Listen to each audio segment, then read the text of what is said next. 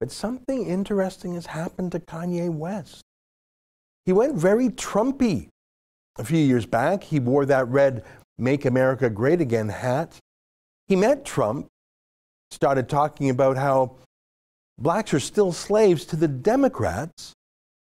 That ruffled a lot of feathers in the celebrity left, which is 99% of showbiz.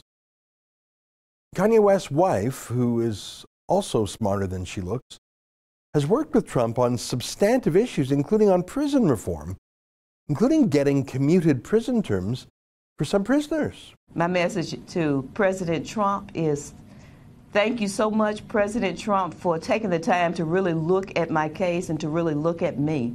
And as I've said before, I will, I promise you, President Trump, I will make you proud mm. that you gave me that second chance. And I tell Kim, Kim, keep your passion. I believe that what she has, is seeing happen for me is really stirred something even more up in her, a desire to help people, as she said, one person at a time. Look, Kanye and Kim are interesting artists and celebrities. There are a lot of interesting people, but I think they're smart. They know what they're doing. They're billionaires. It's, it's relevant that they are. But Kanye had a bit of a mental breakdown. He checked into a hospital. It was tough taking on the whole world, being called a race traitor for being an independent thinker. But then he started popping up again, not in massive stadium concerts with rap music, but on the ground, church services. He called them Sunday service. He had a, a choir of about 100 people with him. He would do a musical sort of church service with his choir gospel style in his own neighborhood. He did one in Salt Lake City, started going around the country. And I gotta say, it looked great. Well, if this take away from my spins, would you probably take away from my ends? I hope it take away from my sins. Bring the day that I'm dreaming about. Next time I'm in the club,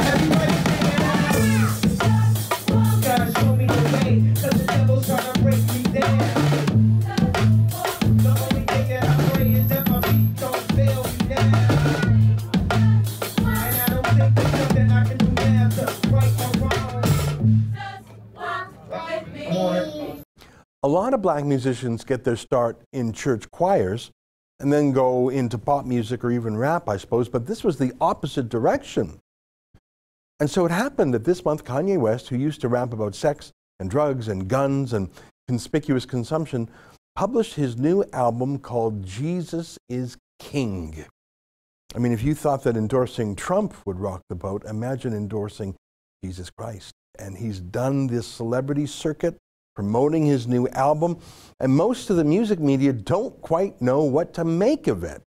One guy is James Corden, a uh, Hollywood liberal, originally from the UK. He has a fun thing where he drives in a car with some musician, chats with them, and then they sing their favorite songs together while they're driving and they're listening on an iPod. It's pretty fun. Well, James Corden did that with Kanye West, but instead of a carpool with an iPod, they flew in a jet with more than 100 people from Kanye's choir.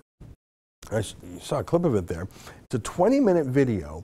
You can find it on YouTube in a second. It, it's amazing. It's trending, oh, about 10 million views in a couple days. And Corden was obviously a skeptic. But he was respectful of Kanye West and he enjoyed the music. I have to say, he, he did well in the interview, and Kanye West did well too. That's an excerpt from the Ezra Levant Show, which is a show I do every day. I do a monologue, interview an interesting guest, and then I read my hate mail. But you've got to subscribe to it, which you can do at premium.rebelnews.com.